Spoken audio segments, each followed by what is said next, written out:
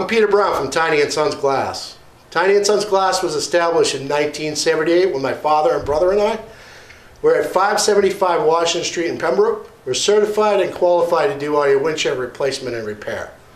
Tiny and Sons Glass is a community-based business. We have 12 mobile vans that come to you. If the weather's bad, you can come here to the shop. We have a nice waiting area, TV, Wi-Fi, kid-friendly, pet-friendly. I'm Arthur Boyle of Performance Appraisal Services. We're residential real estate appraisers with a company founded in 1994 by Mike Gianelli and I in the basement of my house in Malden. We've since grown to have offices in Malden and Pembroke. We serve the eastern Mass counties, including Cape Cod. A good client for us is an attorney or a private landowner or a private property owner who's going through a probate process or a divorce division of property. Call us at 781-293-6900. Ask for Arthur Boyle or Amanda Boyle Grazioso. Our first name is Performance.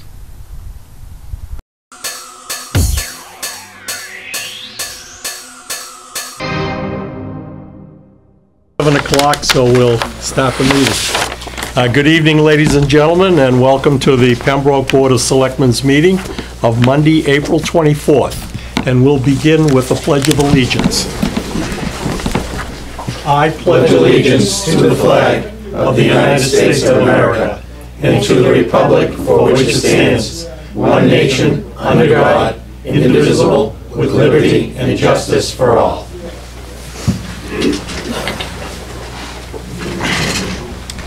Please note that this meeting is being made available to the public through a live video and audio broadcast on Comcast Government Access Channel 15 and is being recorded for broadcast at future dates. Comments made in open session will be recorded.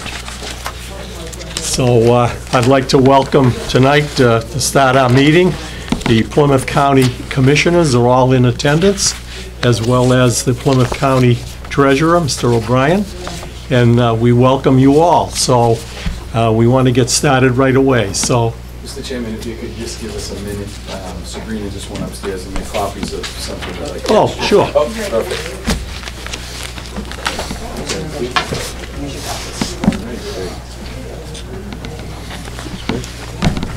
Thank you. Fran has the other one, so. Thank you, Mr. Chairman, for allowing us to speak. Um, uh, The meeting of April 10th uh, took place while I was at home watching, uh, pass the time these days by uh, being a political junkie and uh, watching the local uh, politics. So um, I wanted to bring to your attention some information that you may not have had uh, when you deliberated. It's my understanding, Frank, if you could hand over those last to uh, and Ed. Correct me if I'm wrong, Rich, um, you were uh, contacted by John uh, Mahoney from Plymouth, and he asked you to uh, consider um, the budget and the request of the commission is to fully fund. Uh, With me tonight, as you said, it was uh, the county treasurer and my colleagues, uh, chairperson uh, Sandra Wright and Dan Pallotta, and Frank Basil, our administrator. So what I just distributed to you was a lawsuit that was filed against the town of Plymouth uh, over the cleanup of uh, the site down there, which they rented from the county for close to 40 years.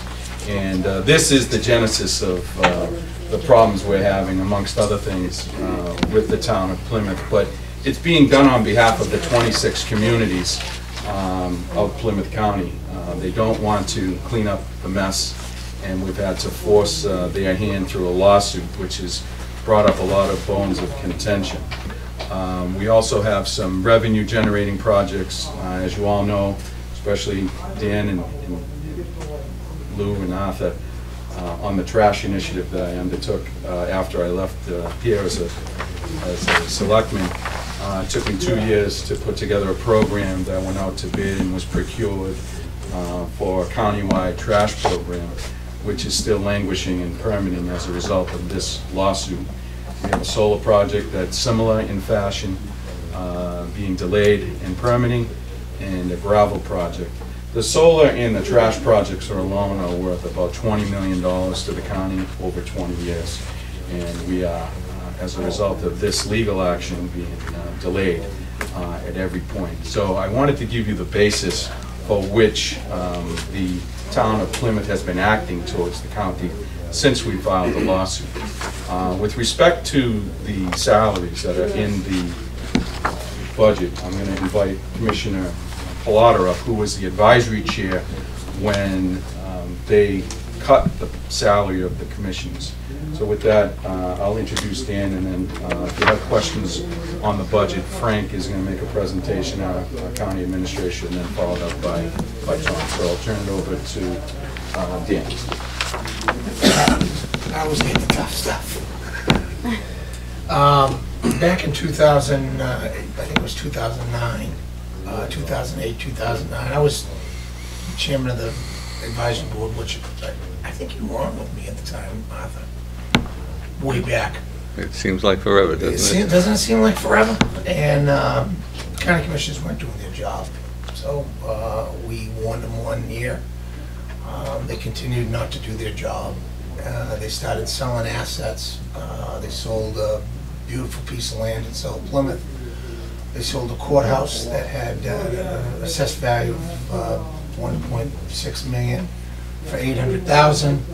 And then uh, to top it off, they sold the uh, conservation rights to a 101 acre farm for $300,000 when the assessed value was 5 million. So I had enough, I uh, brought to the advisory board and by unanimous consent, and a unanimous vote, we cut the pay to as little as possible. We tried to go to zero uh, to teach the commissioners a lesson, uh, but uh, there was a state statute from 1974 that required a minimum pay of, I forget, it was like $7,508, a weird number.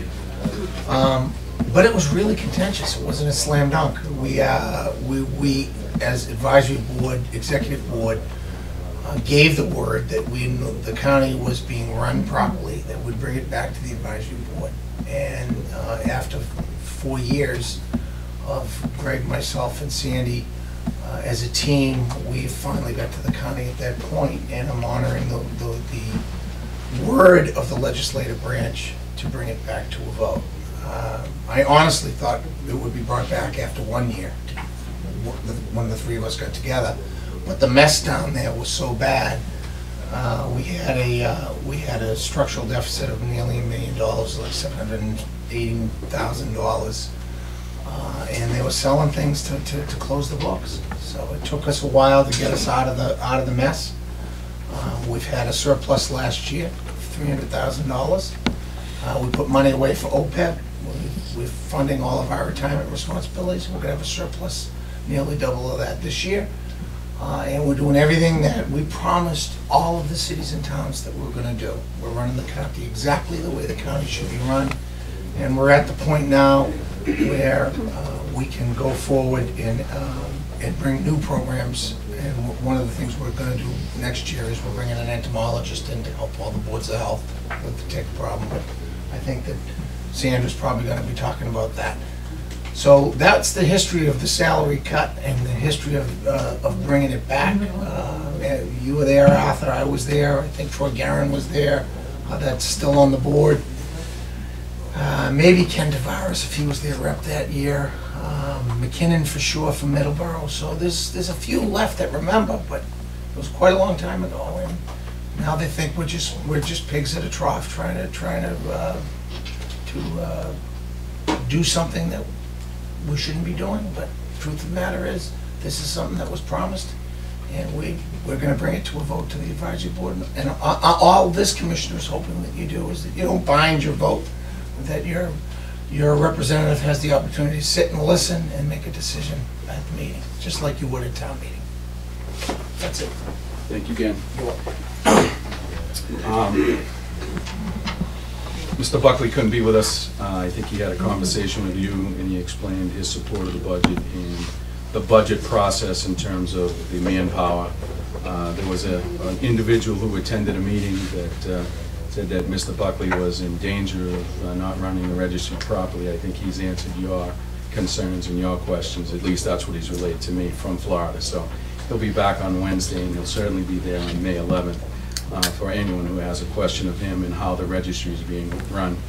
uh, Mr. Mahoney Mahoney had uh, said that he was defending Mr. Buckley. and As you know, Mr. Buckley can defend himself. So uh, with that, I'm going to invite Sandra up to talk a a little bit about the programs uh, that we um, uh, have done in in our time. Uh, Dan briefly spoke about the structural deficit that we had, was a $750,000 structural deficit annually tied to contracts. And uh, we overcame that and had the surplus, we were able to restore the pay and uh, talk about some of the programs that, uh, under your leadership, we've been initiated. So with that, I'll introduce the Chair of the County Commission, Sandra Wright. Good evening. Good Thank you so much for having us here this evening. Um, I do have a little different take on, on this, in which I want to say. Um, I'm going to give you a little history. When I came in in 2010, which was a very difficult year, uh, many things had happened that year. The sheriff's office was taken over by the state. Courthouse rent wasn't being paid. Um, The audits hadn't been done since 2002, I think it was. And on the ballot that year was to abolish county government. So when I get in in 2010, I knew that there were some problems, and obviously I was very eager to go and, and turn the county around.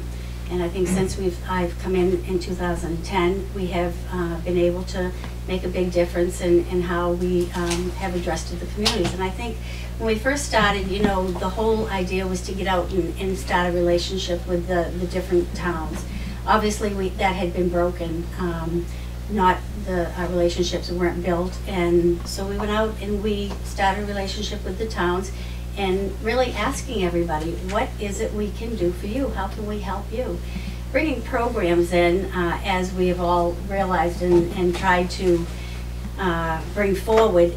Every town is unique. Not every town needs the same thing. It's difficult to get one program that would suit all. So we've you know like uh, Commissioner Hanley said, you know, we've brought different programs in. Some have been good, some have failed and haven't gone anywhere. But we're always eager to keep trying and bringing in something. One of the programs that I'm very excited about is the entomologist, as he had said. And um, that's the tick disease, or better known as the Lyme disease. And you know, ticks are not out just in the summer. Everybody thinks that it's a summer disease. It is not. And being in the healthcare profession for many years and working 18 years in the emergency room, people are hit with tick disease or Lyme disease um, all year round. And it's devastating. You know, first starts out as the flu. In fact, my, um, one of my uh, counselors on the town of Bridgewater was just uh, diagnosed with Lyme disease. And he thought he had the flu. He had a fever, um, body aches, and uh, really couldn't get over it. But then he found out he had uh, Lyme disease. Lyme disease can also be very devastating. It can cause long-term uh, deficits, you know, as far as neurological uh, things, joint pain, seizures. I had a good friend of mine uh, years ago who was bit by a tick, and she was going to um, be working for MedFlight. She started having seizures after the tick bite, so, and, you know, for the rest of her life, uh, she wasn't able to do MedFlight. So it is a big problem, and we are the highest um, right here in, in New England or the Northeast and along the coast here. Uh, we have the highest amount. I think uh, Mr. Uh, our treasurer has the more of the numbers and stuff. So I guess what I want to say is that programs are great and we're always striving to look for programs.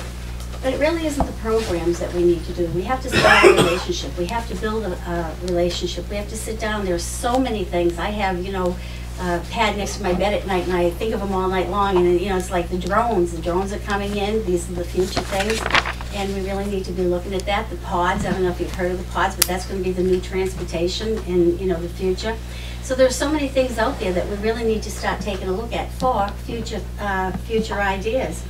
Um, uh, The pods, uh, I mean, the uh, drones have been introduced to the fire and police. I've gone out and spoke to a lot of fire and police, and they're very excited about it. Being a firefighter for 15 years, I know how easy it would be to be able to send a drone in and pick up uh, somebody who might be lost in the woods. I also teach at Mass Maritime Academy. These people are out at sea for uh, long terms, uh, two, three months, and if somebody goes overboard, there's no way of uh, detecting that they went over, but a drone could pick them up. So I think that, you know, drones are, are there and they are the future. Um, I just, you know, I'm gonna make it brief. I, you know, don't wanna keep on um, these things that we've already uh, elaborated on. But I think that, you know, as the county commissioners, I think that we have, you know, stepped in both feet and we've gone, you know, full force in trying to uh, start a relationship, build a relationship and uh, bring in programs. But again, we need to know, you know, what does everybody need? What do you want? This would be a great time uh, to sit down, or I'd love to sit around the table and be able to discuss all these different programs that you might need. The towns are hurting. They're, you know, beginning to realize that um, with the new technology, it's not necessarily the jobs or the positions, because technology is taking over a lot of the positions. So these are things that we need to look at for the future um, references. I guess that's all I have to say. Thank you. Thank you, Sandra. One of the uh, major obstacles we dealt with uh, under the first four years of our term was the maintenance of effort payment that was left behind as a legacy cost when the state took over the jail. We had about $32 million that was on the books that was the responsibility of the cities and towns. So when the jail was taken over, the state immediately refinanced the jail that was paid for by Plymouth County uh, money, and they left behind the retirement costs, and it was about $32 million. So uh, we are members of a statewide organization and provided leadership and filed um, legislation to relieve the uh, cities and towns of that $32 million obligation.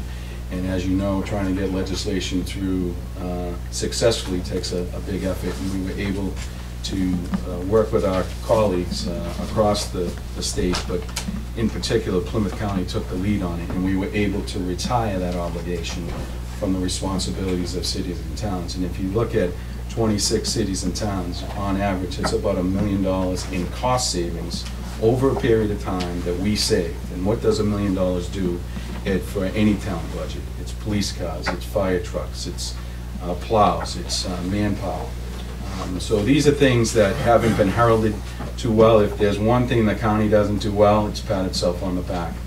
And the fact that uh, we haven't gotten that out into uh, the community is, is our fault, for not advertising it and promoting it. So that's just one of, uh, a few other things. There's one program in particular that I would hope you would consider, it's called PCOT. It's the uh, Plymouth County OPEB Trust, and as we know, as a former selectman, I used to get that sheet that you get every month on uh, the unfunded liabilities of the town, whether it's sick pay, vacation, but it's the other post-employment benefits. And we invite the treasurer to come up and, and speak about that. And uh, it's something that this town should consider, especially when he speaks of the rate of return in just a very short time for member communities who have participated. Uh, In particular, Tom, if you could touch on what happened with the town of Ca- Carver most recently after joining that, I think that would be something to talk about. Sure, I just wanted to make sure we kept the order, Commissioner Hanley. I didn't know if you were going to have Frank do the budget, and then I was going to wrap everything up. and- I want to make us look good before we get into the dirty stuff, so we'll let, you- why don't you go up and talk about that? and, uh, we'll, uh, We'll summarize after that? That's it. Okay. That's it. So this is just talking about PCOT, and we'll have a chance to summarize everything That's afterward? right. All right, making sure of that opportunity. There's a lot to chat about, and certainly I want to condense a lot of what's been said, but I'll come back up and do that uh, once the administrator has a chance. Just with respect to the Plymouth County OPEB trust, you folks know that you essentially have three options as to how to fund your uh, OPEB liability. The town of Pembroke currently does it on its own. I believe you probably have a board of trustees and are investing that money. The other option you would have is to go to the PRIT fund. And the third option, which is newly created by our commissioners on January 15, 2015, is the Plymouth County OPEB trust. The Plymouth County OPEB trust has a number of advantages, not the least of which includes local control, local involvement, uh, and the fact that we have and are the fastest growing uh, joint purchase group for a trust, multi-employer trust in New England. Uh, Just briefly, some of the highlights. Uh, As I said, the commissioners formed this trust on January 15, 2015. We expected after year one uh, that we may only have a few communities join and maybe have a million dollars in assets. Uh, By year two, we expected maybe we'd have five or six communities join, and we might have $2 million in assets. But I want to report to you folks tonight, as you consider all of your options, uh, that PCOT, over the course of two years, we've only been in existence two years. Uh, And I should mention too, it's not just for Plymouth County communities, but when the treasurers in Norfolk County and Bristol County and Barnstable County heard what we were doing, they asked if those counties could be included as well. So the Plymouth County OPEB trust includes Barnstable, Bristol, Norfolk, and Plymouth counties. So any governmental entity in those four counties is eligible to join. That's it. However, once people have heard of our success, we've had communities from Middlesex, Hampshire, Worcester ask if they can join, and the answer is no. But over the two years, we've had 22 communities join, we have more than $5.2 million in assets. The other advantage is it's driving down the liabilities of our members because we're getting a 7% discount rate. In fact, we could get a higher discount rate, but many of our communities are choosing 7%. It's dropped the liability of the county more than $10 million in that short period of time. And what the commissioner wanted me to talk about is our performance over the last year, and I have a, a piece of paper that I want to hand out, and I believe I have copies for everyone. Uh, This is just our performance over the last year. Any extras we'll need back for later presentations. Uh, And this runs through uh, February 20, 2017. Stop there. But just to show- Take Kelly for about 10 minutes. Just to, just to show the performance over the last year uh, for the Plymouth County OPEB Trust, um, we're a little disappointed uh, that we uh, only beat our benchmark a little bit. You can see our benchmark, what we would have done in the last year, go right to the right-hand column. So the last year, from February 28th, 2016 to February 28th, 2017, uh, we've returned gross of fees 19.06%. Uh, Net of fees, that's 18.71%. Uh, We're not going to do that all the time, uh, but we have a very successful, uh, a very diverse portfolio uh, that has had remarkable success. I can tell you, we expect two more groups to be joining in the next couple of weeks, and we probably will have a number join before June 30th, because on June 30th, GASB 74 and 75, the Government Accounting Standards Bureau, is requiring that this liability that every town has is reported above the footnote. And so it's going to hit your net assets as a liability of the town and have a huge impact. So we find towns scrambling to look to join either PCOT or PRIT, because doing it on your own, I understand, has some merit, certainly, but you just aren't able to effectuate the economies of scale that you can by joining either PCOT or PRIT. So that's an option. The commissioners deserve a lot of credit for creating this program. They tasked me with coming up with this innovative idea. It's a multi-employer trust with a lot of success. I'd welcome the chance to come back and talk more in detail to you or the Finance Advisory Board or anyone else. I know that uh, your town manager has done a great job, town administrator has been everywhere and heard a lot about it, so anytime you want us in, we'd be happy to make a presentation. Sure, Aye. because Commissioner Hanley is obviously delegating and telling us exactly what to do. My next function is to introduce our county administrator. We were fortunate enough to have Frank join us about uh, two years ago. He has jumped in both feet first and uh, has done a great job and uh, making sure that we keep everybody in line and serving as our administrator.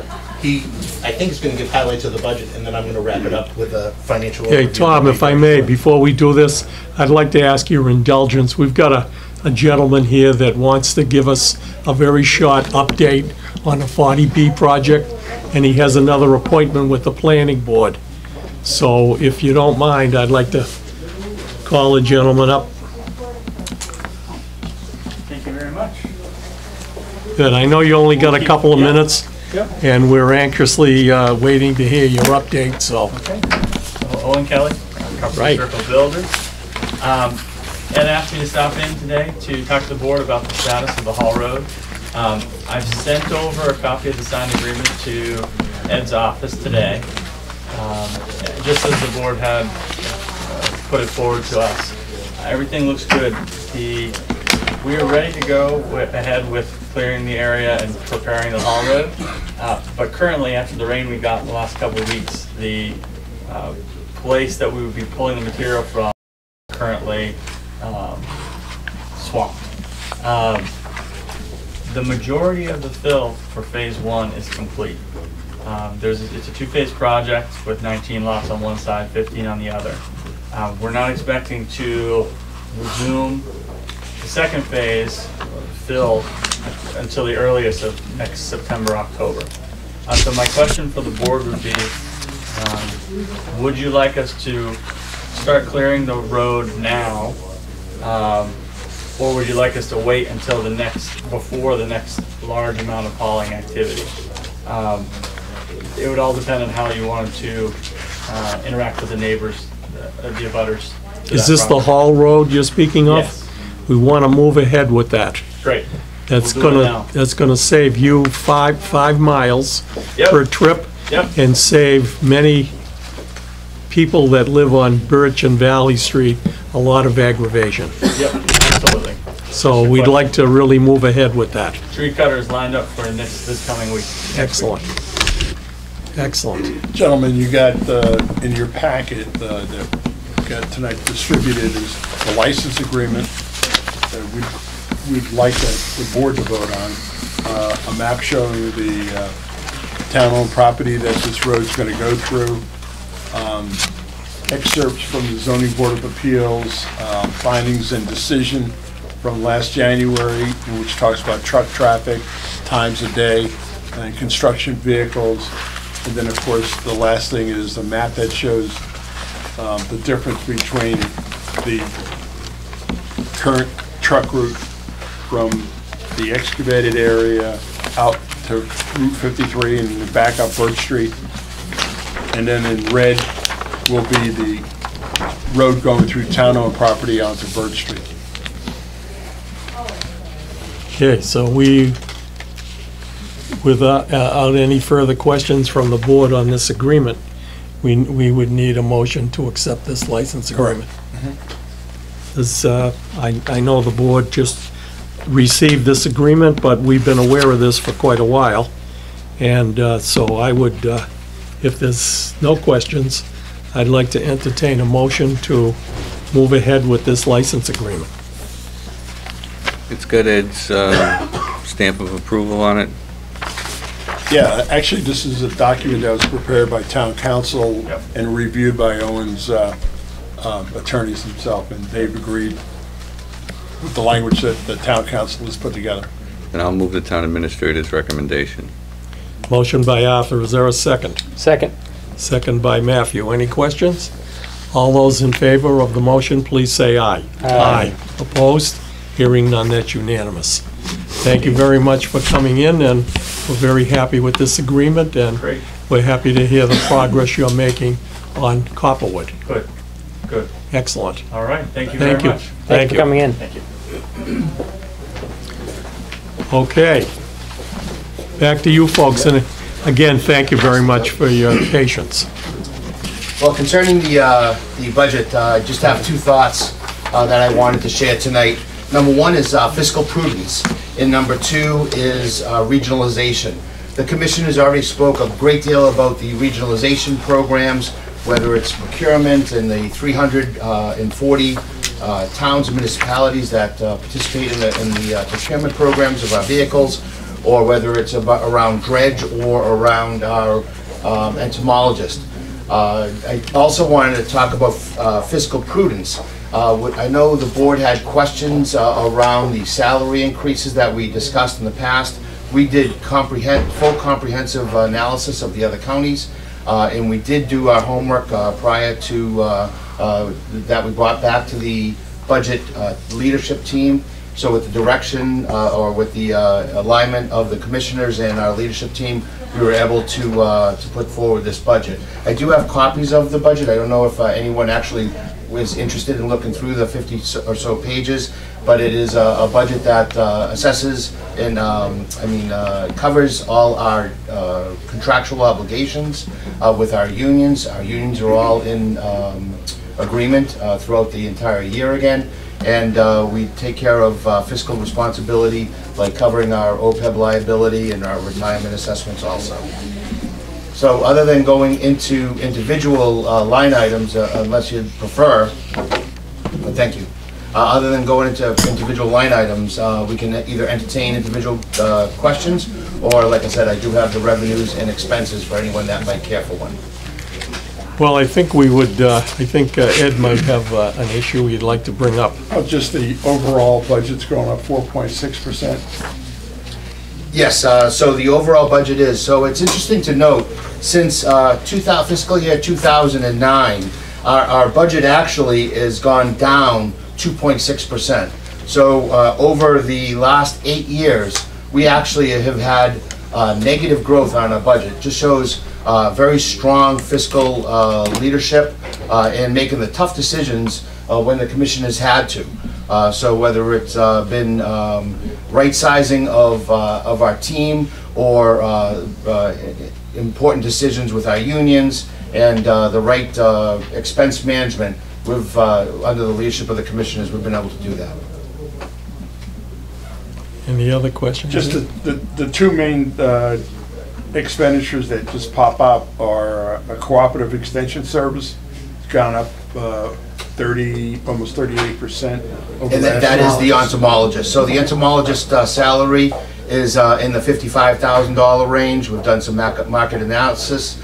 Uh, We have uh, benefits tied to that, and then we also have uh, approximately $20,000 in startup costs for equipment, microscopes, uh, computers, et cetera. And then I guess the other big thing that the one that generates most of the uh, conversation is the 21% increase in the commissioner's office. Yes, um, so, uh, again, we've done comps on, uh, on that, uh, information, uh, and, uh, the restoration for the commissioners, uh, a market adjustment for myself, and then contractual obligations for the rest of the staff. And then, we, we have, added some technology pieces into that line item to, to assist again with the entomologist. Okay, any other questions from the board? Hearing none, if you have copies of that budget, I, uh, we'd like to have it. Great. There's, we have some revenues. There's a, one for each.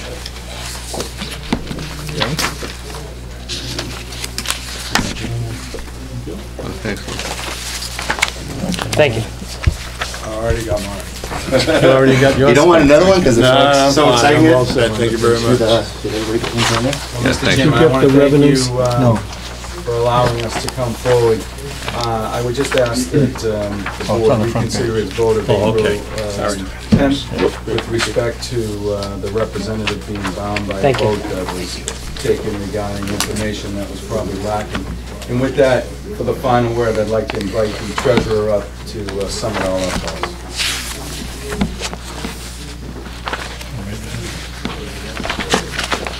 Thank you, and thank you for your patience.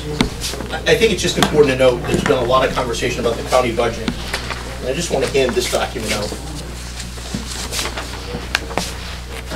Because I think this really sums up uh, what county government is about, and I know many of you have traveled around uh, this great country and realize that regionalization is the trend of the future. If you travel to other states, you see that county government is strong and healthy, and we really appreciate the relationship we have with the town of Pembroke. Your advisory board members, from Arthur to Lou to any others, have always been supportive and understand that county government is a way to help communities deal with the challenges you face every day. What I think is instructive about this chart that I'm handing out is the growth of government over the last eight years. And what's important to note, as you can see, and this probably doesn't surprise people, that the federal government has gone up more than 15% over that time period.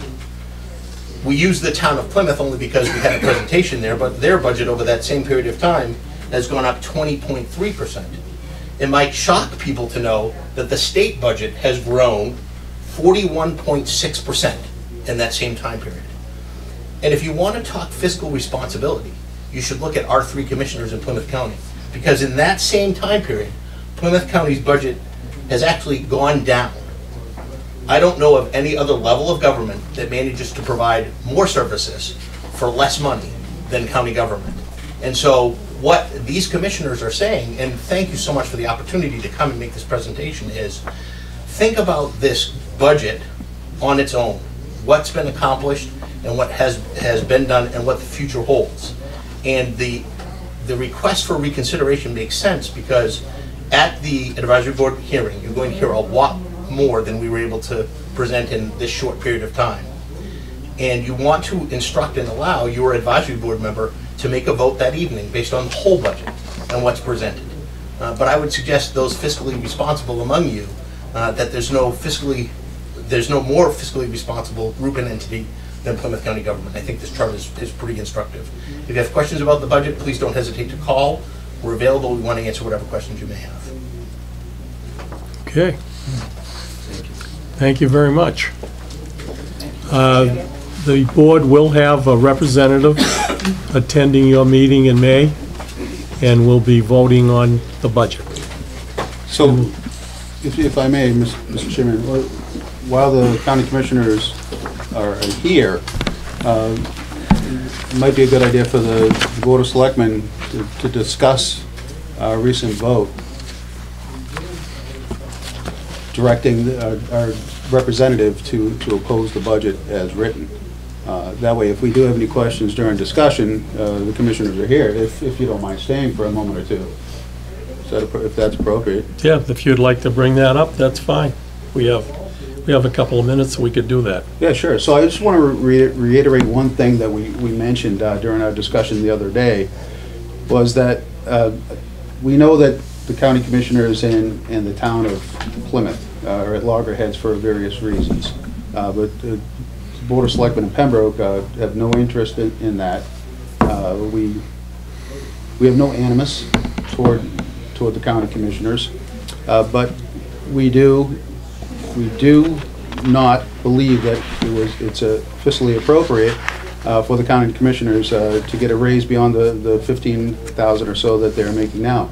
We do think we're getting good value for that money, uh, but we do not believe a, a raise in, is in order. In fact, it was, uh, correct me if I'm wrong, two years ago, that your, your rate, your salary was doubled from 7,000 to 15,000.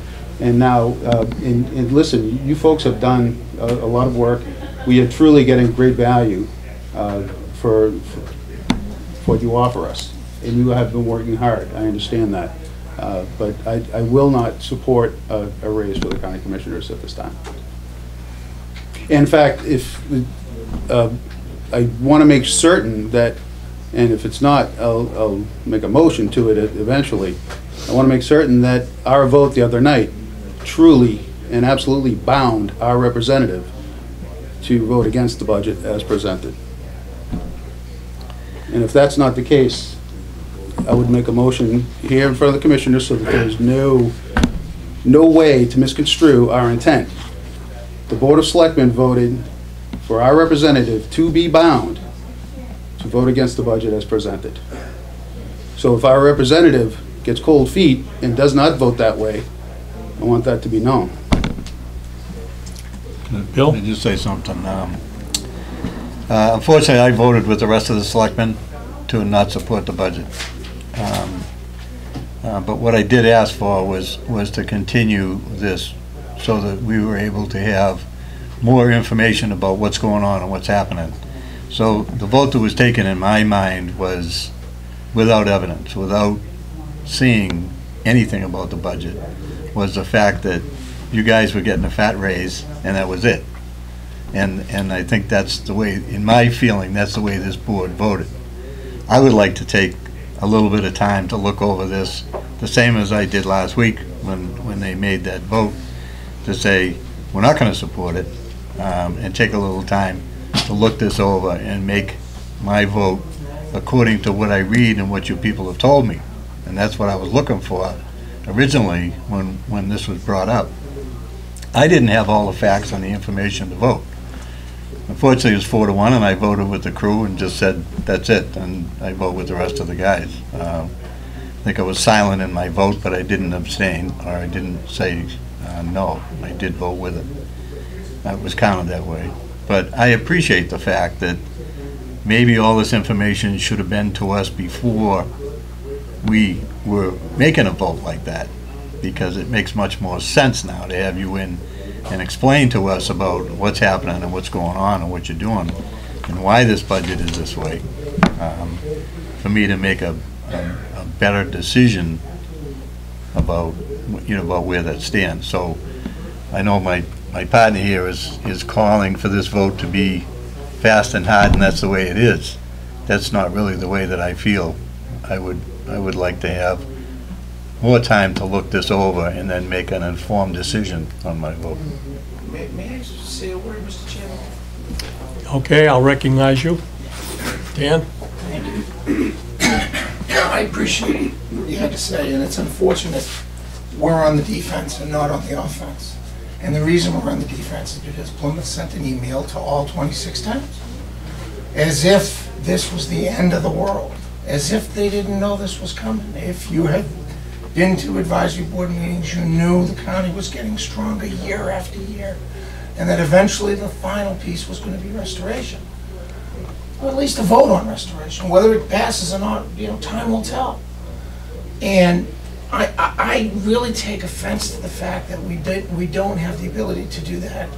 The county is set up, uh, where selectmen have to be there. And most towns don't send, uh, their elder st- selectmen, they send their youngest selectmen because they don't wanna go to another meeting. So we don't get continuity at the county. We have to educate that board every single year. And we spend a good third of the meeting educating how the county works. It's a horrible system that we have. So we're on the defense constantly. That particular email has put us on an incredible defense, one that no one should have to go through. We're gonna be doing meetings every single night between now and that vote on the 20th, just to educate. All I'm asking for is that you don't bind your, your, you don't bind your representative, and if, if the representative doesn't like what he hears, it's fine, vote no.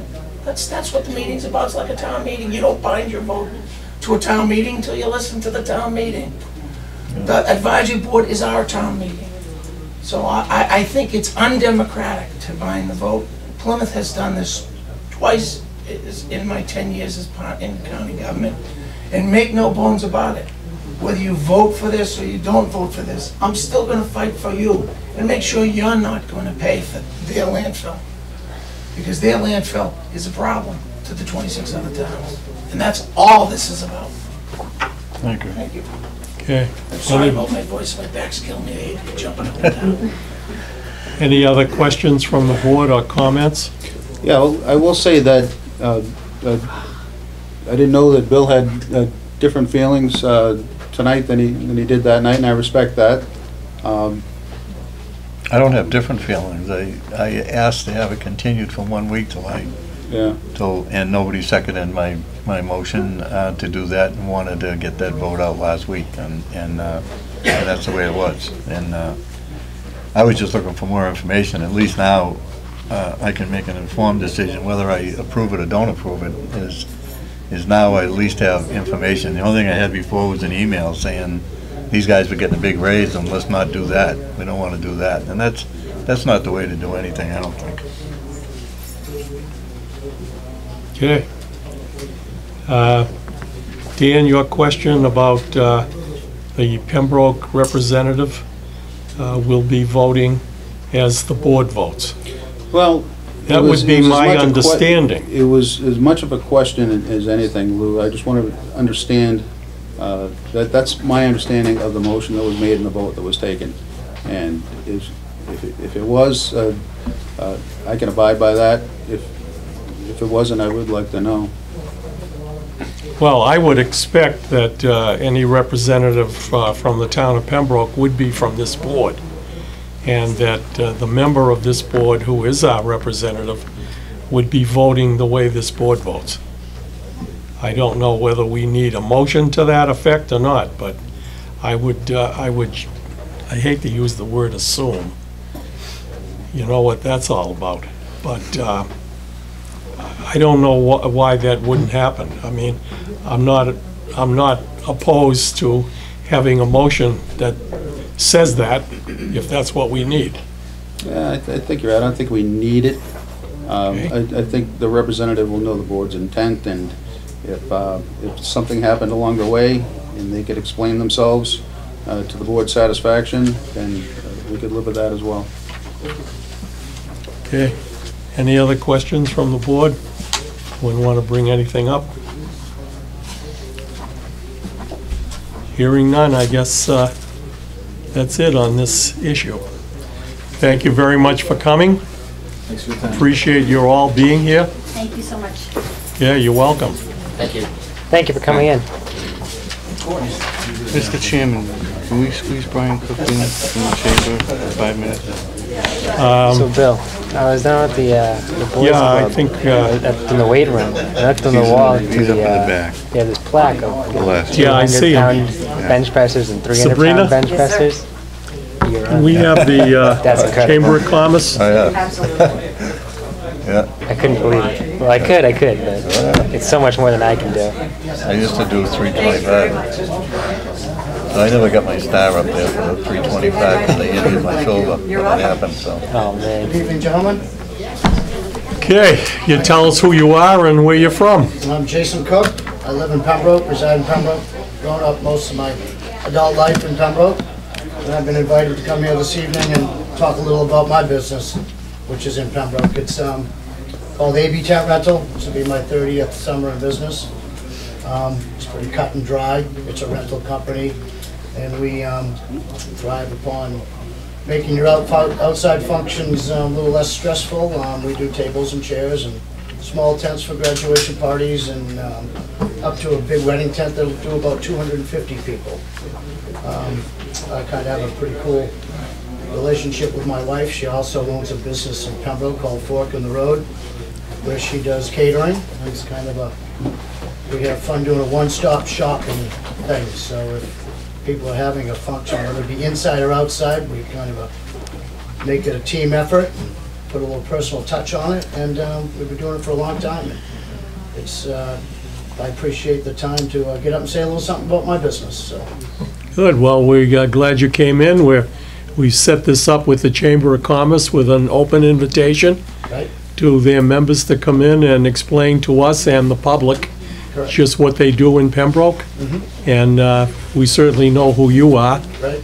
And uh, i- any of the board have a question? Yeah, Bill? no, I don't really have a question. I just, I just want uh, the people to know that, that, um, that you and your wife and your services with tents and uh, food and all kinds of other stuff donated so much stuff to the 300th anniversary when we had all these different programs throughout the year. It wasn't, it wasn't um, a one, sh- one-stop deal that you did. You did it um, And, and a lot of the things uh, throughout the whole year, I know had to cost you some money and your, and your family some money to do that for the town. And I just want to say that, um, that we appreciated that, that, um, that you did that for us. And uh, I know that I've used you personally in functions that I've had and, and, um, and it's, you've uh, very, very professional and very good services and good food, so. Thank you for saying so, and uh, it was, a- it was a, a lot of fun, and um, it was, uh, it was awesome to be uh, included in that big 300th thing that we had going on. It was, uh, it was a great thing to be involved with, and um, Yeah, I just wanted the people to know that, Thank uh, well, a lot of those things out there, people forget. that's right. Thanks, Bill. Okay, any other comments? You've got one from, I'd like to also say they're very much involved with the Historical Society's fish fry, the Herring, at the Herring Run, which is coming up the first Sunday in May. And without their support, it'd be a lot of extra work for a Thanks lot of extra people. Another fun day, but it is a lot of work, and uh, we do it for, we don't make any money. It's uh, what we do for the town, and uh, we make a lot of fun. Um, We get a lot of recognition for it, and probably helps, you know, it's a lot of advertising and whatnot, but I've been in Pembroke for a long, long time. It's a great fun day for families and everybody. It's a, it's a great day. Let's hope for sun, no rain. Right. Well, again, thank you very much for coming in. Thank you, sir. And I think we all know who you are and what your business is because of the great charity work that you do. you, So gentlemen. thank you for that, and uh, thanks you for coming in. Privilege. Thank you, gentlemen. All right. Nice evening. Thank You too, thank you. All right, guys. Okay, uh, we have uh, advisory here with us now, and uh, Moderator. Mr. Stephen Dodge is our moderator. Thank you for coming, Stephen. Let me, uh, let me say to you and the advisory board, uh, we apologize for having you a little late this evening. Uh, The items on our agenda for tonight uh, were a little more lengthy than what we had anticipated. So, uh, Uh, No apologies necessary, uh, Mr. Chairman, and I appreciate the opportunity for us to meet jointly um, to go over the uh, procedures for the annual and the special. Um, I counted one, two, three, four, five, six, seven, eight zoning, uh, eight bylaw uh, changes or proposals, which I think may be a a world record for us. I don't remember that many on a warrant, so we have a lot to accomplish. Um, And uh, I always say this prior to our- our discussions in these meetings, but particularly for people who are just watching for the first time and thinking, well, what's the sense of going to town meeting if they're figuring this all out? Well, we're not figuring it all out. We're just figuring out a procedure uh, so that the meeting runs smoothly. Uh, Obviously, the final determination is up to the voters in every single instance, every single line item, every single article. Um, But I think this is very helpful. We've been doing this for, well, since I've been moderator, just to go over the procedure ahead of time, just to make sure we're all on the same page, so. um, So, uh, one of the things, um, before we start going through the articles, I wanted to mention is we had passed a bylaw a number of years ago. It was the same year, I think it was 2015, that we changed the date of the town meeting and the election and the time of the town meeting to allow uh, the board, um, if they so choose, to put together a consent agenda. A lot of towns do this, um, and they group all the non-controversial articles together, and we can dispense of them in one fell swoop. Um, So uh, Sabrina has put together a consent agenda, um, which includes only four articles. Article one, which is a routine article, we hear the reports, there's never any discussion. Um, Article eight, nine, and 10. Um, Eight is um, just authorizing the board to accept grants. I should put my glasses on here so I can see this. Article nine is just the authorization for all of the uh, various enterprise funds and revolving accounts we have to do every year. And Article 10 is just authorizing selectmen to enter into contracts with the board, with the uh, Mass DOT. And Article 32 is the very last article, which uh, is just routine, it just uh, essentially is, has to do with the election. So we've never had debate on those articles before. It's up to the meeting. If someone wants to pull one out and debate it or ask a question, that's fine. But uh, what I'd like to do is after we do the budget and the uh, personnel schedule, which by bylaw we have to do first, uh, maybe we can dispense with these and that'll save us a few minutes. Uh, So if that's okay with the board, that's what my my suggestion is I'd like to do. Seems fine with me. Any Assuming that's okay with everyone. comments from the board? Good idea. Uh, The bylaw says it takes a four-fifth, so I would just entertain a motion, I'd point out what we're doing, the separate articles, give people a chance to look at them. It- it- The three of them are grouped together, so that should only take a minute. Um, And then if there's no objection of pulling anyone out, then we'll take them all as one, and it'll require a four-fifths. Um, so, And thanks to Sabrina for putting this, uh, putting this together. Um, So I guess, the- as we usually do, it's best just to go through each article. Um, And I also want to point out to the folks at home that are watching that the warrant should be posted uh, on the town's website by the end of the week, maybe even a little bit before that, so I encourage everyone, uh, first of all, to attend. All these meetings are very important. Sometimes we struggle to get a quorum. We need 150 people to start, which out of, how many registered voters? 11,000. Uh, Shouldn't be a big issue, but, but quite frankly, it is. Um, So we start at 7 o'clock at the high school, not at 7:30. Um, And the sooner we can begin, the sooner we can finish. Uh, And I'm hopeful that we can finish the entire meeting um, in in one evening. If we don't, then we would continue it till Thursday. Um, So Article 1 uh, is uh, routine. Article 2 is the wage and personnel uh, classification schedules, which are included in the warrant as an appendix. Are there going to be any changes from what's printed in the warrant that we know of? Obviously, the meeting is, could amend something from the floor, but as far as advisory and everyone else is concerned, uh, we're okay. Article 3 is the budget, um, and I'm assuming we will have an agreed-upon budget um, by Agreed on that. Okay, that's great. That's great. Um, And again, that's printed as part of the packet that will be distributed in the warrant, um, so everyone knows what the figures are. And as we usually do, we'll go by, go through them department by department. Um, Article 4 um, is uh, an article that authorizes establishment of water enterprise fund. That's fairly routine advisory. We'll Move that one, right? Um, Feel free to stop me if anyone has any questions or concerns. Article 5 uh, sets up the solid waste enterprise fund. Um, Everyone's agreeable to that, let's be moved by advisory. Article six is the uh, union contract for the Pembroke Patrolmen's Association, and I understand we do have a contract. Several. Several? Um, Everyone's in agreement? Actually, um, we prefer that the Board of Selectmen Present that. Okay. So when you say several, are there, oh, I'm sorry, that- that's right. Three contracts. It's three, I'm sorry, right. Um, So can the board be prepared to move those? Um, And those aren't amendable, Uh, it's it's an up or down vote, I think, right? I mean, We Yeah. can't, town meeting can't amend the contract, just approve it or disapprove it. Uh, Article seven is to put money in the stabilization fund. Are we putting money in the stabilization fund? No. Okay. No money. No money. So are gonna make the motion? So you'll make the motion to take no action? Okay. Um, Article 8 is um, another, oh, that's part of the consent, right, thank you. 8, 9, and 10, as I mentioned. Um, Article 11 is the municipal inspection bylaw. Um, And both advisory and selectmen have moved favorable action. Uh, Does, I- I'm not sure who's head of the town government study committee. I don't know if there's a preference of who wants to move it. Um, We gotta put it in play, I so. believe that the town government study committee should move that.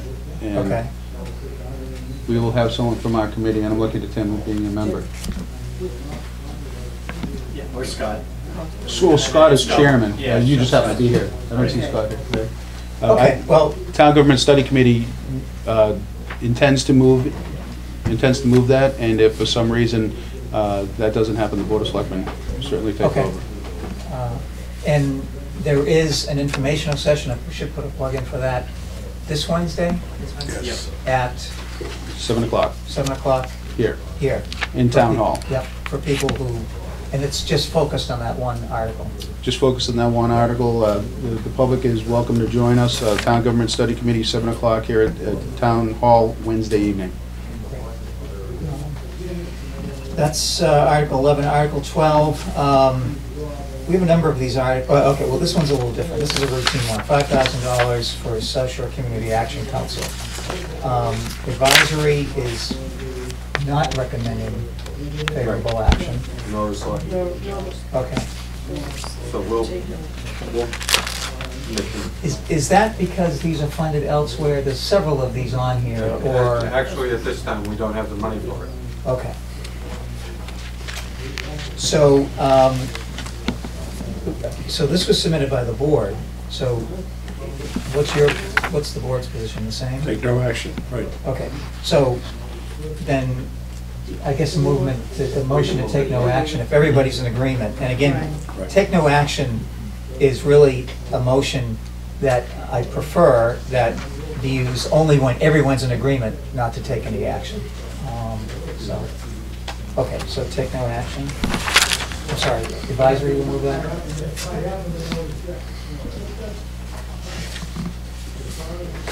Um, Could there be a petitioner in any of these who could, or, That comes later. That's the That- that one- was That comes later. okay, those aren't the That's the petition ones, okay. All right. Um, Article 13 is the special event bylaw that was submitted by the Board of Selectmen. Um, the Advisory is recommending unfavorable action, Um, so the board will move that one. I have a question. Sure. What is the unfavorable action objective? What's, what's, That's- That's saying no. No. yeah, but why? It's, it was, it seems like, uh, in our opinion, it it could be applied to some relatively small house parties and, thing, you know, somebody getting, you know, if you're using the backyard, all of a sudden you have to have a cop there. You know, it's, it just seemed ambiguous to us and we Well- weren't comfortable with it. Well, I don't believe that this article requires a police officer to be at a house party. The idea is that the Board of Selectmen's office would be made aware of something that was going on that could be a public safety issue, maybe not. Okay, And- but that could be every graduation party on graduation night, the parents must, or anybody that's having a special event, which we don't require now. If you have, I mean, if you've got enough space, I mean, if you're not blocking the highway, um, it's a little too big brotherish for us. Well, to be more specific about it is, this was uh, undertaken by a committee that this board established because a couple of years ago, uh, we had some issues with the private airfield in town. And the Board of Selectmen was not aware that they were having an event, which they were entitled to have. And it, uh, it caused some traffic issues, and uh, the police department had to rush down there. And so uh, the neighbors were all upset about it because they didn't know what was going on. It impacted their life, and uh, some people had horses there, and they were gonna have s- some riding lessons. I mean, I could go on about it, but that, but that's what brought up this committee to see if we could control uh, uh, an event that was gonna be scheduled by someone that may have an impact on the public, the abutters, uh, safety issue. So what we intended to do was to just kind of evaluate the situation from the selectman's office, and if we thought that the police department should be involved, we would give them a call and see if, if they thought that they needed to get involved with this. They may require a police officer in a certain case. And someone who was on that board with us is Chief Wall. Uh, I'd like, I'm going to ask you if you have any comments about this. So this is the same procedure that we're currently unofficially using for all the road races and for all of the events that we run, where the town is giving uh, groups permission to use town roads or town property. And and basically, it's kind of the, um, having the selectmen kind of pilot these things through to make sure that any notifications that need to be done are done and things are are done safely. And again, some of these events require uh, public services, whether it be police, fire, DPW, uh, and we just want to have a routing so that we're not overlooking any of these things, and, and and a road race just doesn't come in and schedule themselves a road race or, or something like that, and, and the town's not prepared to handle it. I, I think we were thinking that it went further down the line, not, I mean, that to me goes without saying, that if you're gonna have a But it- it- town-wide event or It, it goes without saying, but we're saying it. That's what this was en- entitled for in large-scale events, like an air show, like a circus that would come to town, or something like that, that we don't have anything uh, presently on the books for, so this would kind of cover that. No, we don't really need to know about every, uh, every graduation party and all that, but if it is going to impact like a neighborhood block party where they want to close the street off, people have been taking the opportunity to inform the board of selectmen, this is what they want to do, getting permission to use the roads, allowing the fire department to know that certain roads will be closed from certain time to certain time because it affects their emergency uh, responses. And it just codifies things, which is, we just want to make it easy and we want to make it accessible. Plus, some of these events will actually get out on the town website and, and, you know, it- it's a positive for them too, that we're gonna notify the town that this is gonna happen. Similar to the DPW, will letting people know that they're gonna flush hydrants. There's no surprises, we're trying to inform the public. That's what we're trying to do here. The wording seemed to be very vague, and a graduation party that isn't planned until the day before graduation couldn't, doesn't have time to get permission to pass through all this. That's what it sounds like. It sounds like any event. I don't get that same feel for that, but, uh, So you don't have to register your graduation party? it depends. I mean, if it's, if you're going to walk off a road to do it, Well, this, m- this may be a precursor of some of the debate we'll see uh, in a couple of weeks. Um, Okay. So the board's going to move it as printed in the warrant, no changes? That's correct? Okay. Um, And I- and I should say that all of these bylaws are amendable, um, but particularly with the planning board articles, we just have to be careful, and obviously I defer to town counsel if, if there's any question. they can't go without, uh, beyond the scope of the article. So, as you know, on a, particularly on a zoning article, a may or shall or shall or may could change the whole article. Um, And so if that's beyond the scope and town counsel feels it's beyond the scope, then we can't accept it as amendment.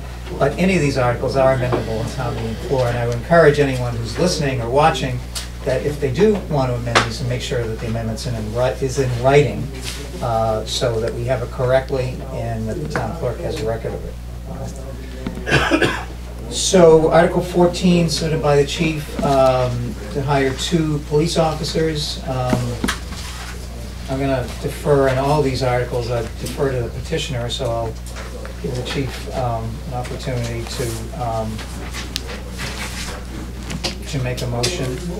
Um, And I, my understanding is that most of these, there's been agreement not to go forward on them.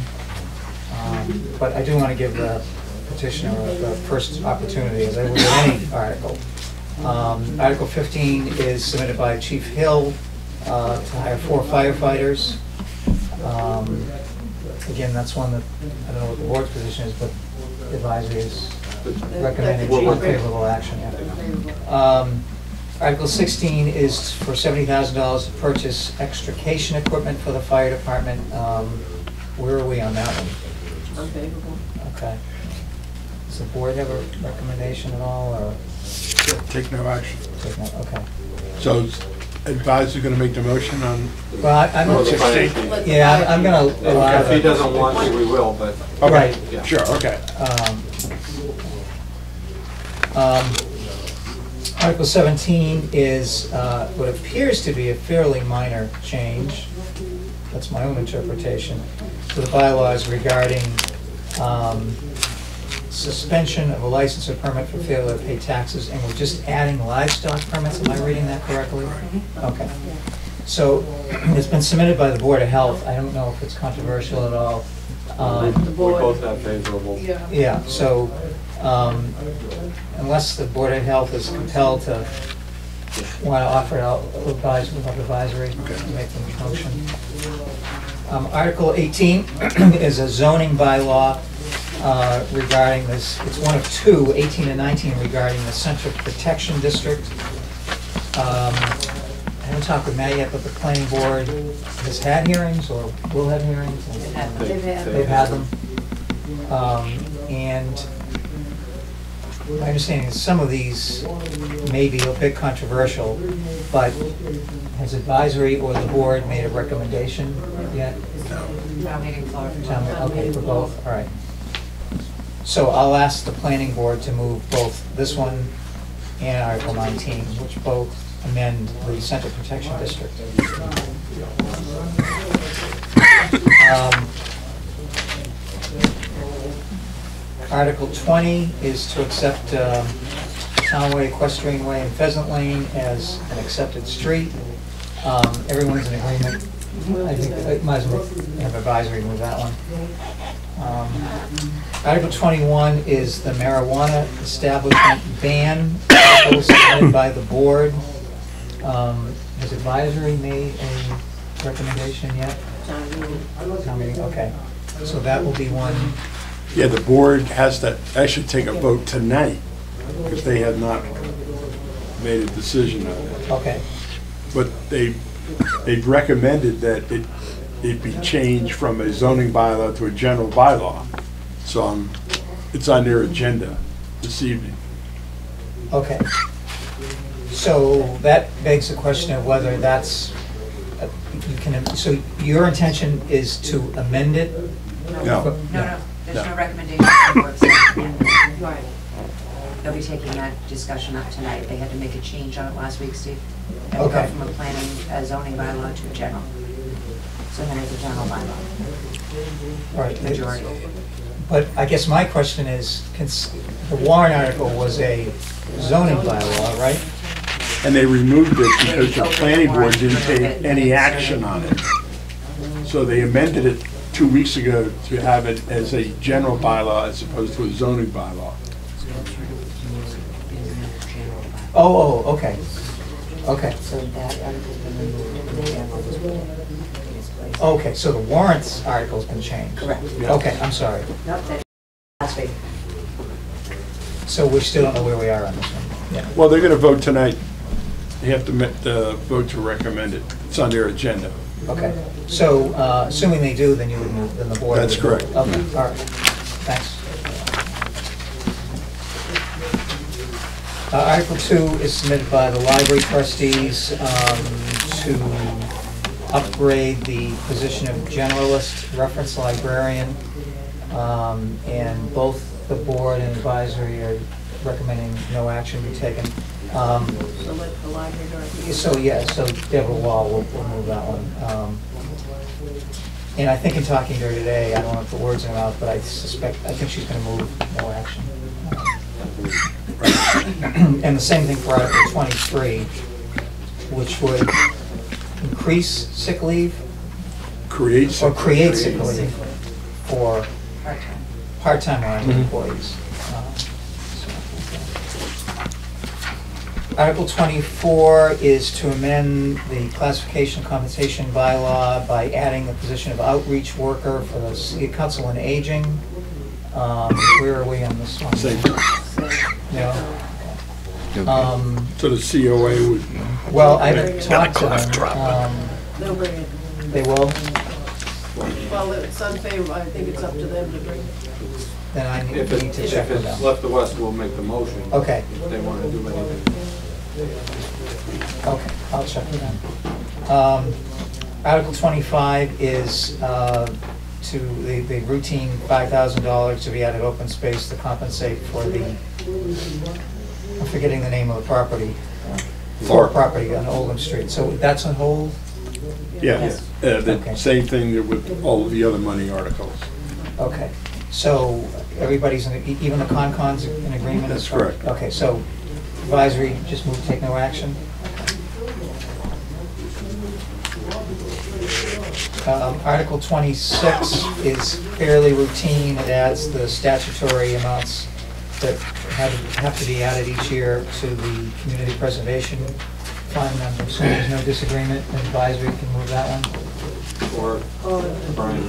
Brian usually takes all Well, of on the... the- um, Depending on when it comes out, when they have to be. Yeah, I usually have them do the CP, the, the the funding articles, but this is so routine. I- I- Doesn't matter to me, but I I think my preference would be to have you move it, if that's okay. Um, Article 27 is this community preservation, and there's one, two, three, four, five, six, seven, eight, nine, 10 separate recommendations. I won't go, well, uh, is there more? Maybe 11? 13. 13, okay. 13. Oh, yeah, I'm missing some, I'm sorry, I forgot the ones where I added, okay. Uh, And we take them all separately. Is there any disagreement between, there are- between advisory and, Yes. there is, on which ones? Recommendation J J, on the firehouse bandit. Oh, yeah, that's right, I've seen that. And L and M we discussed tonight, and we haven't voted. Okay. all right. Um, Well, on all these, I allow, Brian still the chairman? Yeah. Yeah, Brian Van Riper to make the motion, and so advisory, obviously, chime in at any time. Um, Article 28 is, okay, this is the first of the two. Article 28 is to provide $3,500 to South Shore Women's Resource Center. Article 29 is $1,500 for violence intervention and prevention. These are both submitted by petitioners, um, whom I have not spoken to yet, but have they appeared before? no. Were they asked to, or? Okay. We really don't even know how to get in touch with To them. the- Yeah, See, the petitioners, it's, it's, the names on here are usually just the first name. Oh, I know, yeah. Sometimes that's not even the person First who name. wrote it up. right. No, I understand. Um, I mean, I'd like to give them, if it's on the warrant, I'd like to give them a shot at it, so Yeah. we'll have to work on it. Um, If not, advisory, we'll and you're gonna recommend unfavorable action anyway, so. Right. um. If the petitioners are listening, contact Sabrina in the selectman's office, and she can contact me. Uh, Article 30 is a- another um, bylaw. This isn't a zoning, or is it a zoning? It's a peti- it's a Petition petition. Yeah, it's a general, okay, I'm sorry.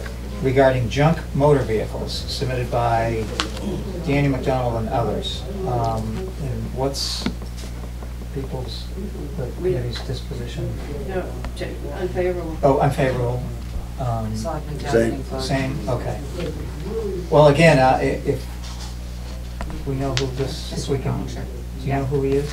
Okay. Um, Well, then maybe I can try to connect with him and just talk to him. I mean, if the petitioner doesn't want to go forward with it, obviously, but Article 28 has Pembroke residents, Article 30 does. Article 29 is for someone out of town. They can have permission to speak if yeah, granted we by the have to give clerk. him permission to speak, yeah. Why would Something from out of town want to change that law. Because, no, Article No. 29 is violence intervention and prevention Oh, that's programs. Yeah. Um, 31 is another bylaw change. Um, It's adding a new provision, right to farm provision. Um, I've seen this in other towns, right? Um, They adopted it. Um, Is there any disagreement? Um, Advisories recommend favorable action. We favorable. Seven four, okay. Um, We know Carolyn Kreider, don't we? So, um, I don't know whether she wants to move the article. Um, of If not, then can advisory move it since they've recommended favorable action? Although, I guess it kind of begs the question, if the petitioner isn't there. No, these petitioners will be out. Okay, all right, all Yeah, right. That's not be. All right. Why you're gonna You know, I'm sure they will be on this one, Yeah. right? You're. Uh, And that's it for the annual. Um, The special looks fairly short and routine, famous last words. Um, Article 7 is to transfer funds. Um, Assuming everybody's in agreement, advisory committee will move that. Are the fund, are the amounts the same as as printed in the warrant? Okay. Article two is um, to appropriate money for, or transfer money, in this case, for the installation of the turf field at the high school, It's going to be a borrow. okay? So it's gonna, so you're gonna move that, and that's gonna require, The school committee School may want to will move it as well, but uh, if they don't want to, we can. But they should. They should. okay? Borrowing will require a two-thirds. I think there's, all the zoning ones require a two-thirds. Twos. Uh, Article three submitted by Chief Wall, um, for the purpose of purchasing next-gen 9/11 equipment.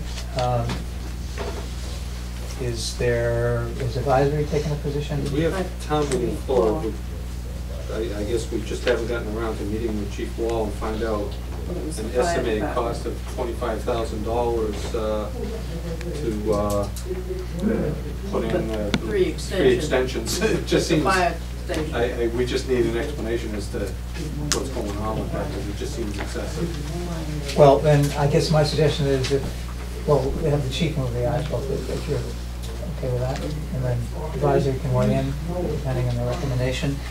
Um, And the next, Article 4 in the special is also submitted by the chief for a police cruiser, and advisory's recommended unfavorable action. Um, I don't know whether the board's taking a position, but, um, chief, if you want to move that one as well, I'm assuming you want to move forward with, with it.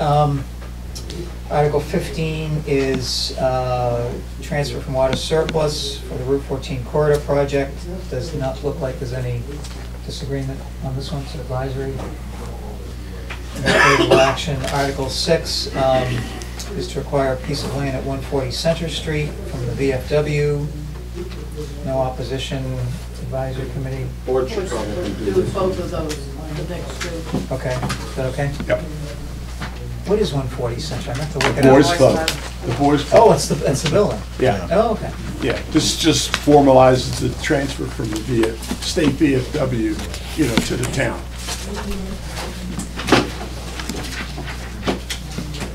And seven is uh, convey a parcel of land on Bartlett Street.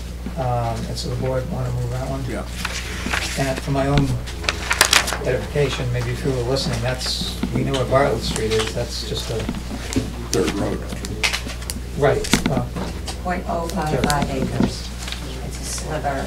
that About 2,500 This is for the town to buy or sell? No, no, we're gonna sell it to Purposes the of property, conveyance. to the Okay. butter. All right, I think that's it, Mr. Chairman. Any questions from anybody? Just, uh, Steve? One one quick thing, we do have, uh, next Monday, we're gonna be holding a thing at the library where anyone that wants to come in can ask questions on the budget, and uh, we'll try and allow them to get into a lot more detail than we normally do at town meetings, so they may be a little bit more informed. Uh, We'll make a short presentation in terms of the financial position of the town right now, and then uh, be completely open for questions. It's going to be uh, Monday, May 1st, 7:30 PM at the library. Question I have on the meeting date. Was any other night considered other than Monday? Um, That prohibits this board from attending. it- It's, it was our regular meeting night as well, you know, so we just did it that night. And We did not think of it at the time. There's another question involving whether that meeting that you're holding would be televised? Supposed to be, And yes. Is that what you're recommending? Yes. Because the question is either televise this one or yours. Right. And I I have a feeling they'll do yours live and ours taped. You know, it it would have been, obviously, it would have been nice to have it live as well, so if somebody sees it, they, they- and they're interested, they might come down, but, uh, you know, it's, it's, once we scheduled it and got the time at the library, some of the other issues came up. Pardon me? It's the board's choice. Yeah, that's what I'm, I'm looking, I'm looking for a recommendation, and I think I got one that you would prefer to have it televised that would be a plus. Would- I think it would be a plus. Well, then, we'll make arrangements that your meeting will be live. Okay, thank you very much. And uh, this, as I understand, is, will be the first time we've ever had a meeting like this. Yes. And uh, so I think it would be, it would be prudent to, uh, to have it live. Thank you. Okay. And in the future, I, I think we will try and make it a regular meeting. We will try and keep in mind the Monday night's not a good night. Yeah, we could send a representative to be there to, to hear you. We'd like to hear what you have to say. We'd love to have, you know, because we're both in agreement on most of the uh, money Yeah, articles that the right. town is not wealthy. Okay. All right. That's a great idea, Mr. Chairman. I mean, it's a great idea to have, it, and I never remember anything like that in the past, and I I think it's, it's great. great. It's Well- you know, we're trying to get the, the information out there and being open, open as possible. Steve, you'll be on television all the time. Well, I won't be on this one. Um, So again, Mr. Chairman, uh, May 9th, 7 o'clock at the high school. We'll try to start right on time. Uh, We have a lot of work to do, but I'm sure we can accomplish it. And I appreciate everyone's work and cooperation, particularly advisory that starts this process back in the fall and works hard. Very good. Well, thank you again for coming tonight, and this is very worthwhile going over all this, and I hope the people at home that were watching could hear our back and forth about these articles, and they can get an idea as to what goes into all of this. Uh, And again, the paper warrants are available.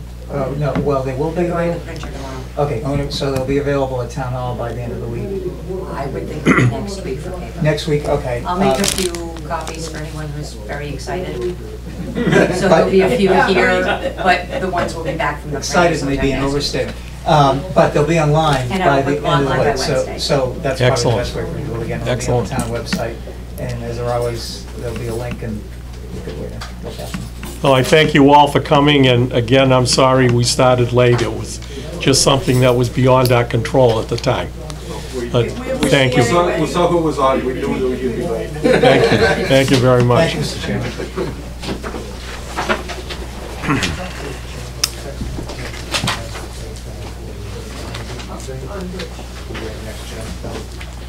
Well, the next item on our agenda is to return to Article Number 21, uh, which would uh, require a vote uh, by the board on, uh, on this article.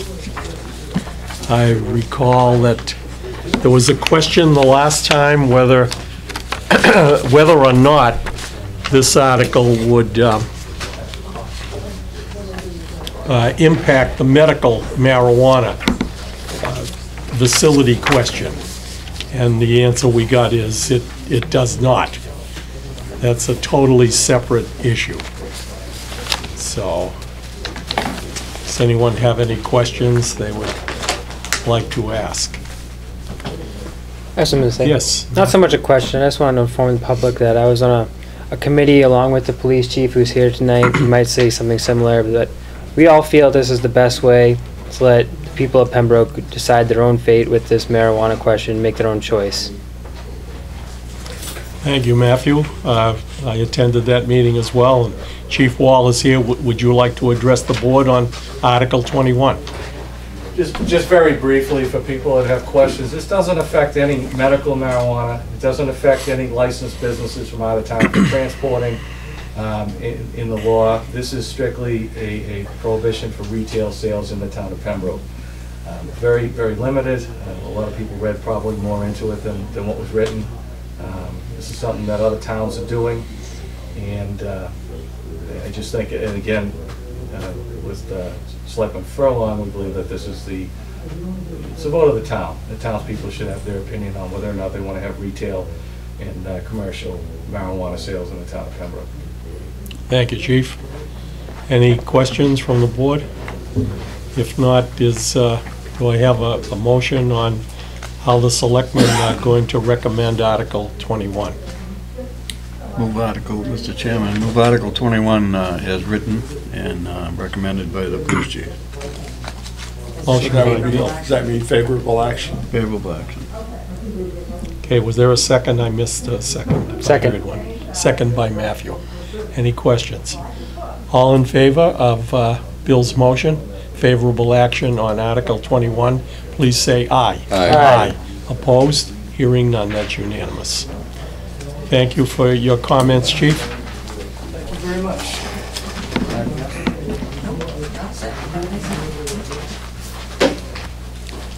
Uh, We're going to sign the annual and the special within the uh, warrants. Uh, We could do that at, the- Did they need to vote to sign them? Okay. no. So we will proceed with that at the conclusion of the meeting. Thank you. Uh, We have before us now a question to support a heavy commercial vehicle exclusion on Valley Street and Plain Street. Uh, Mr. Thorne, do you have any comment on that you'd like to make? I'd like to change that to uh, Valley Street and Birch Street. Yeah, yeah, yeah. Thank you very much. And actually, we're going to add Franklin Street because Franklin does go into Valley Street. So that will be, um, because the, as you see from the uh, information that we provided to you, um, the map that shows where the truck exclusions would be, um, it would include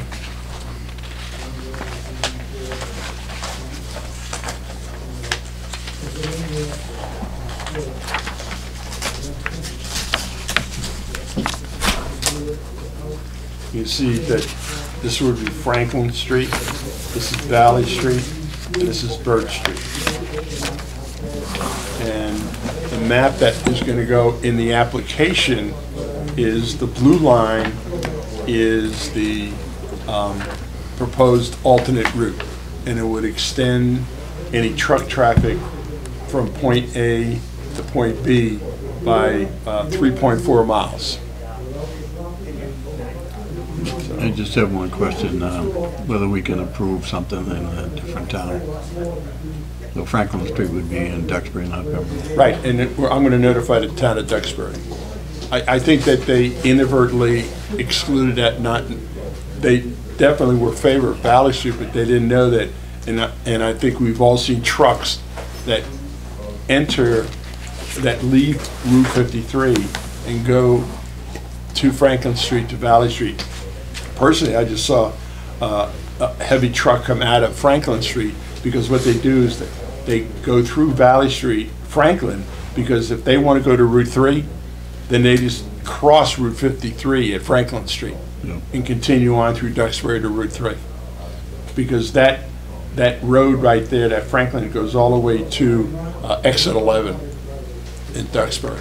So, so the vote would be for this board to be in favor of Duxbury closing Franklin Street, not. Well, not it would be, you would vote to authorize myself to submit this 75-page application, and in it, we will exclude, you will vote to exclude um, Valley Street and Birch Street in Pembroke.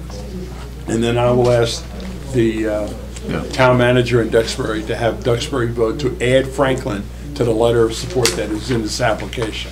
Oh, okay. I don't want that to be, a. I don't want Franklin to be a loophole. Right.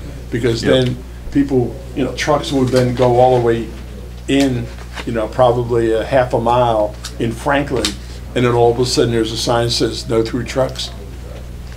Then No, I, I understand that, I just didn't know that, that, that we could vote something in Duxbury, whereas if you're, ex- you've explained that now, saying that you're gonna ask Duxbury to include that in, the- in that letter for Duxbury to approve it. Right.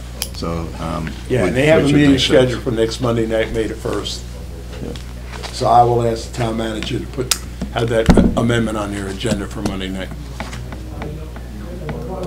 I would move um, that the Board of Selectmen support the commercial vehicle exclusion on Valley and Bird Street, and also for Ed to work with Duxbury on the Franklin Street um, truck exclusion. Second. Motion by Bill.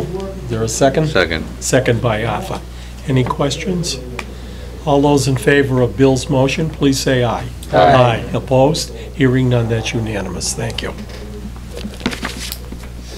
Uh, Next item on our agenda is uh, the reappointment to the Old Colony Elder Services Board of Directors, and uh, we would be voting to appoint the COA Director, Anna Siri, to that position. Move The appointment of Ann- Anna Siri as Old Colony Elder Services Board of Directors. Motion by Arthur, is there a second? Second by Bill. Any questions? All those in favor of Arthur's motion, please say aye. Aye. Opposed, hearing none. I deem it unanimous.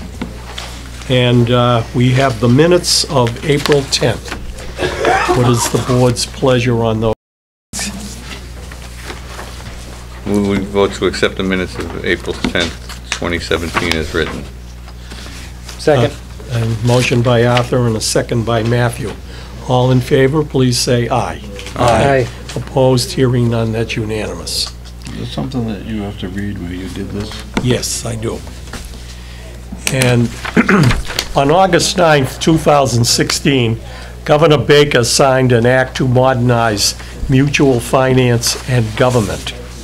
The Board of Selectmen may designate any one of its members for the purpose of approving bills or payrolls, provided that the member shall make available to the board at its next meeting a record of such actions.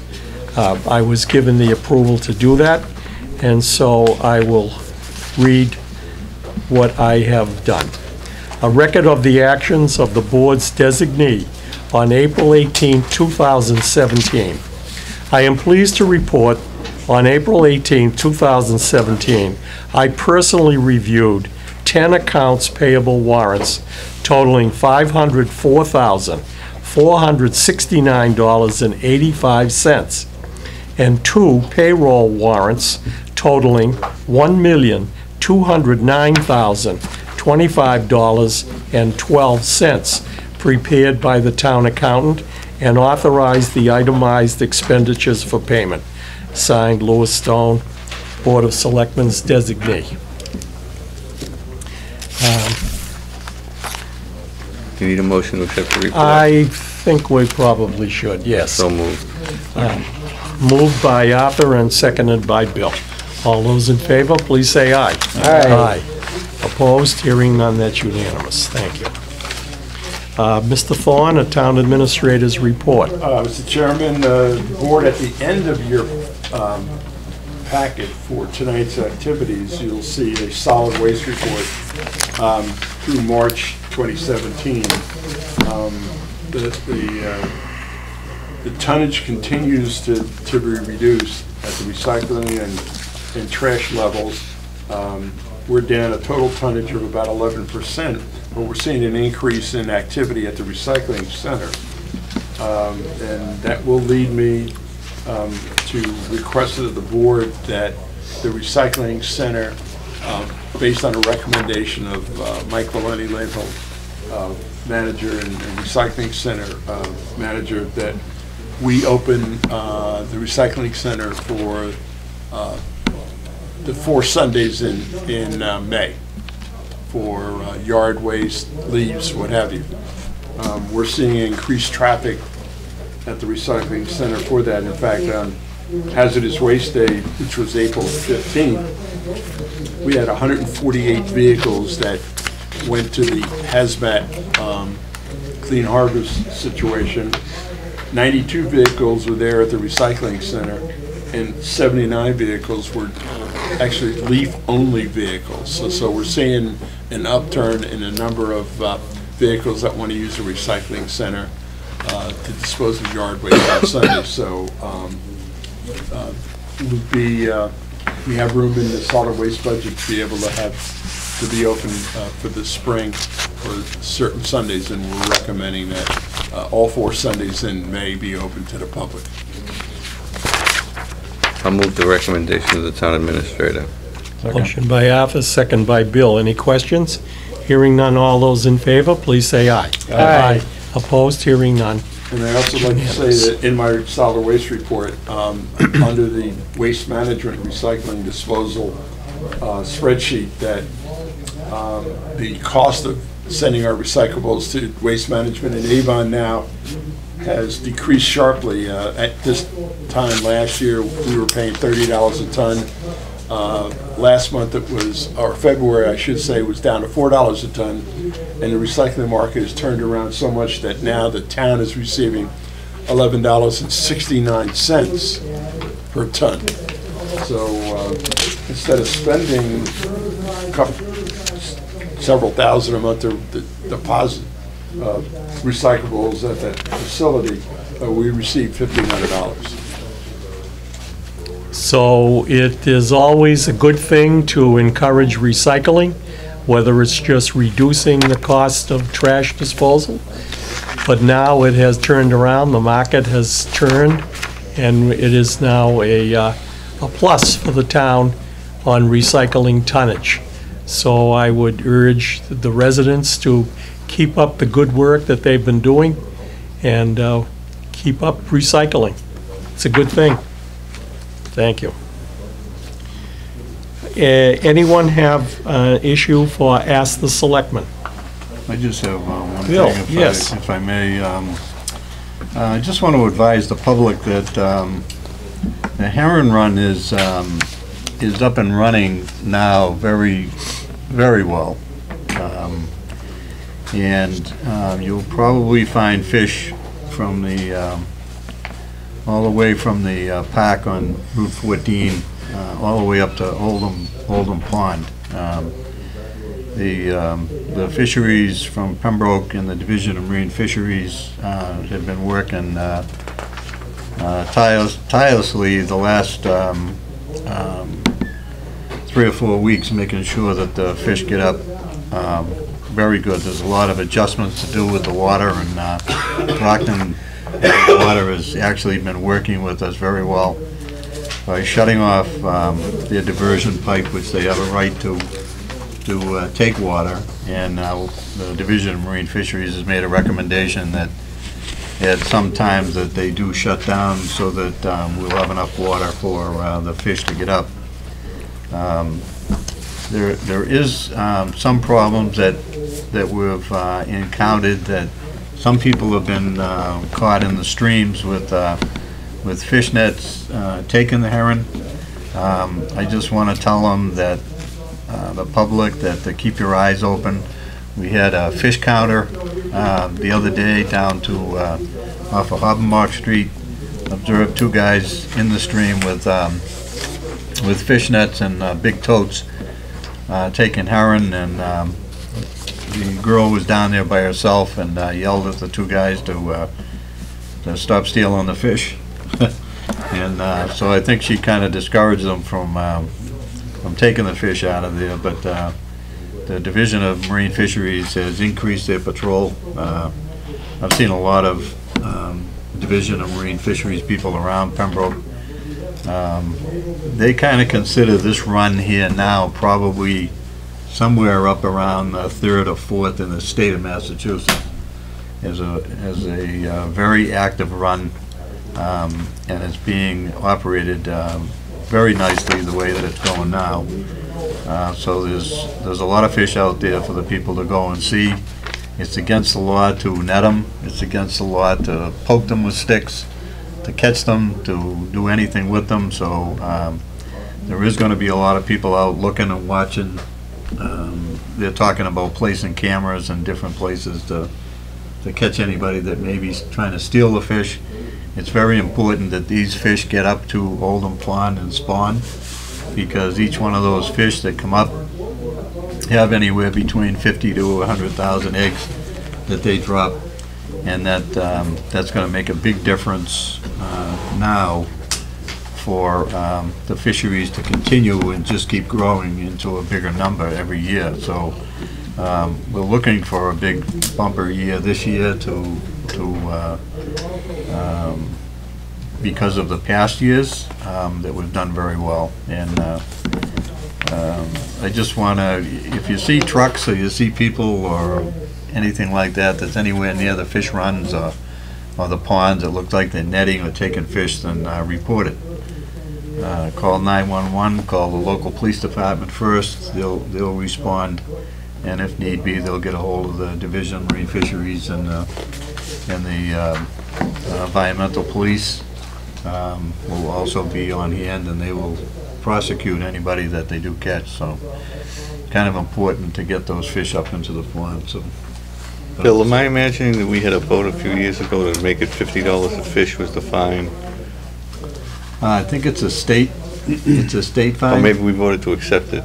as, Uh, uh, Probably such. voted to accept it, but um, it is a stiff fine, and uh, the environmental police will prosecute, and they will take the people in, and uh, if you get caught with fish in your truck, you might as well say goodbye to your truck.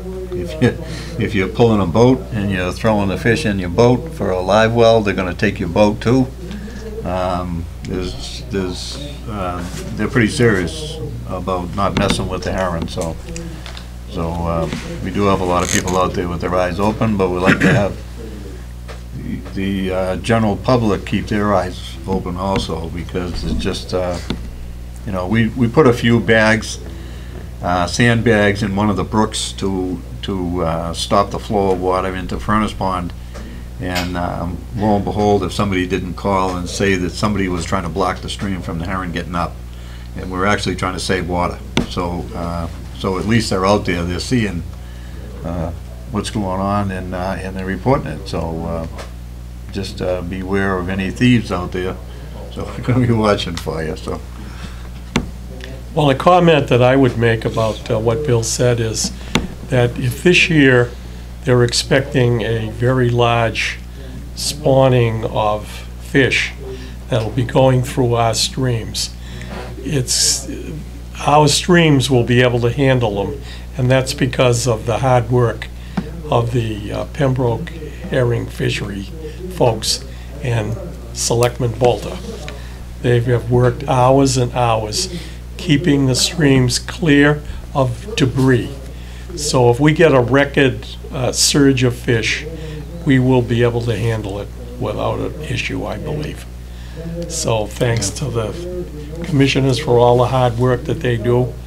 They're out there standing in the streams, pulling out sticks and logs and leaves and all that. Not a very glamorous thing to do, but a necessary thing. So they deserve the thanks from the Board of Selectmen. Um, Thank you. Any new business anyone would like to bring up? Mr. Chairman, can we actually go back to ask the selectmen for one minute? I'm sorry, yes, we can. Thank you. So a resident has asked to set up a a miniature mailbox library for public use.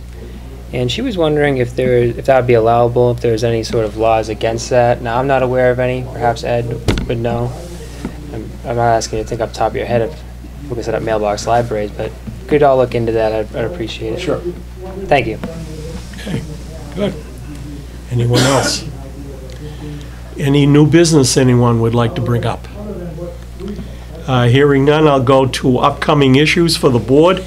On May 1st at 7 o'clock, Andrew Sullivan will be in to talk to us about the Public Safety Building Committee.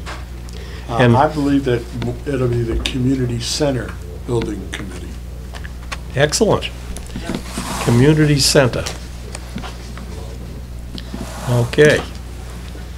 And uh, Andrew Sullivan, uh, for those that don't know Mr. Sullivan, he owns Protecto Wire here in Pembroke, very active in the town. Also on May 1st, the DPW Commissioners will be presenting their space needs allocation study results.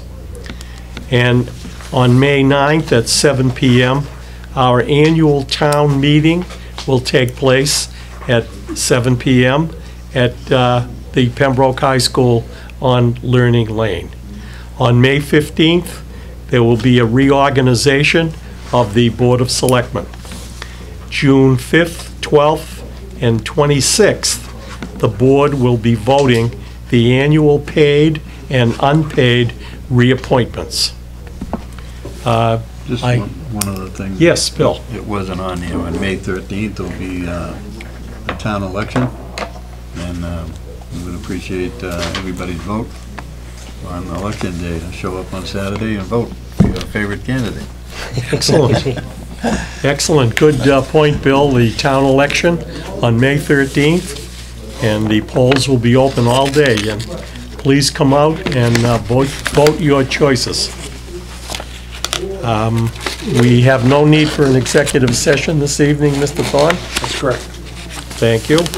The next regularly scheduled meeting of the Pembroke Board of Selectmen will be on May 1st at 7 PM. Um, We have no other business before the board, No to adjourn. so we have a motion Second. by Bill to adjourn, second by Arthur. All in favor, please say aye. Aye. Opposed, hearing none. Thank you very much for watching, and please tune in next Monday evening. Thank you.